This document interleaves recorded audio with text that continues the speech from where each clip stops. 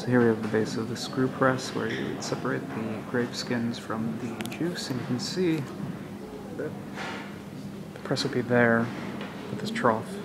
and it would run off in that little spout there.